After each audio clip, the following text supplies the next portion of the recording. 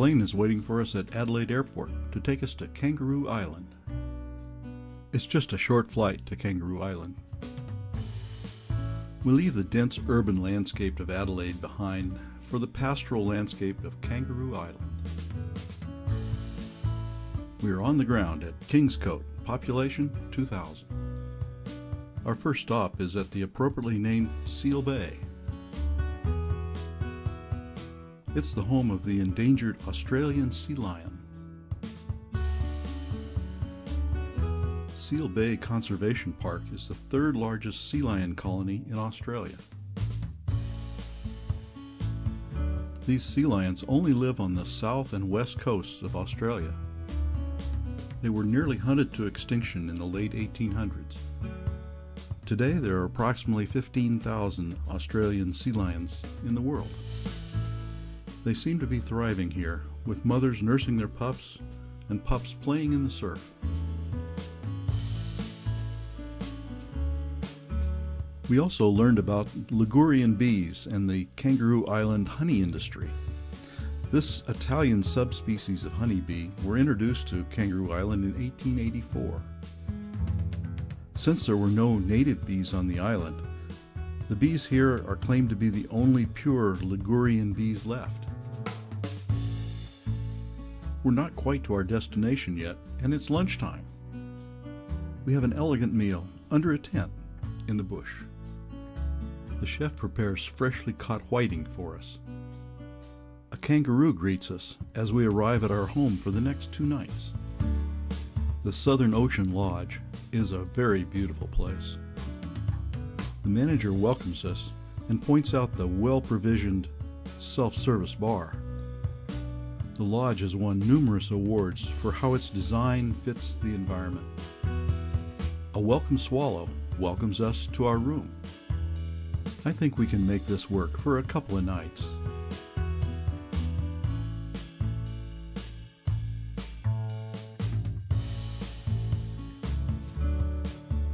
Time to explore. There's a trail that follows the edge of the cliff. Beautiful turquoise blue water of Hanson Bay makes this seascape really special.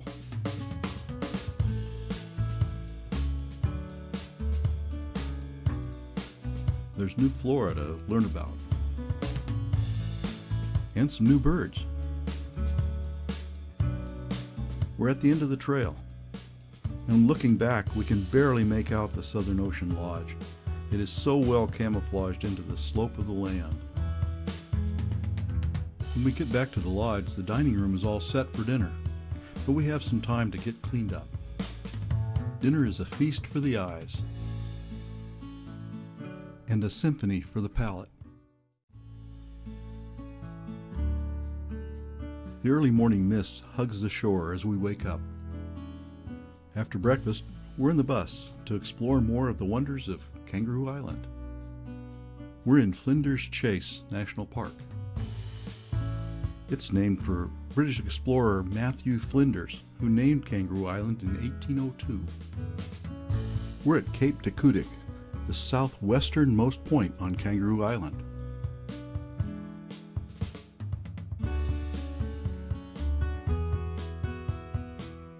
This is home to a colony of New Zealand fur seals.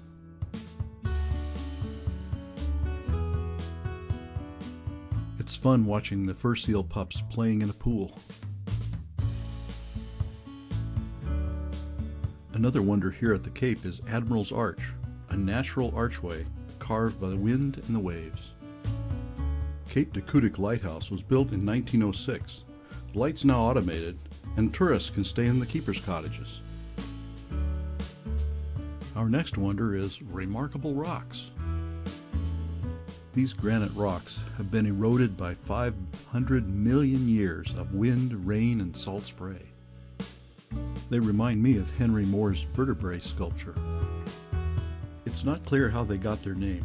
One explanation is that an early explorer made the annotation Remarkable Rocks on his chart, and it was later mistaken as a place name. But it's so appropriate that the name has stuck.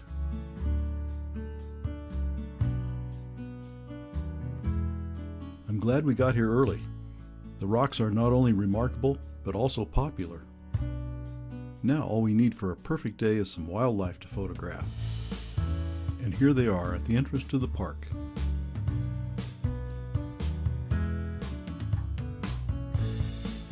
Great news! We have time to visit the Hanson Bay Wildlife Sanctuary to see koala. Koalas were introduced on Kangaroo Island in the 1920s, along with several other species that were threatened on the mainland. By a lucky coincidence, a farmer planted manna gum eucalyptus to line the road to his house because he liked the tree, and so do koalas.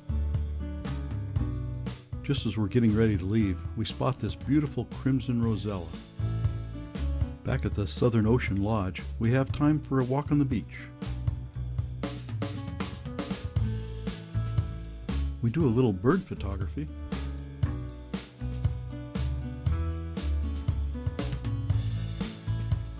And capture some of nature's abstract art.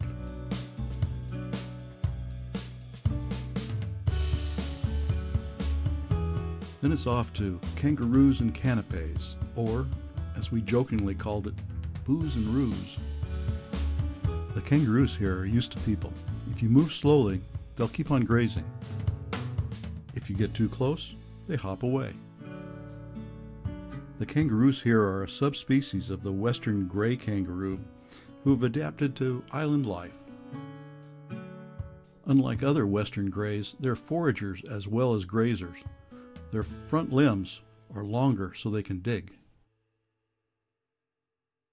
We leave the kangaroos to finish their dinner in peace and head back to our dinner at the Southern Ocean Lodge. Another feast for the eyes. This is marron, a freshwater crayfish, and foie gras three ways. This morning, the sunrise is spectacular. But it's time to leave Kangaroo Island. In no time, we're back in Adelaide and ready for our next adventure.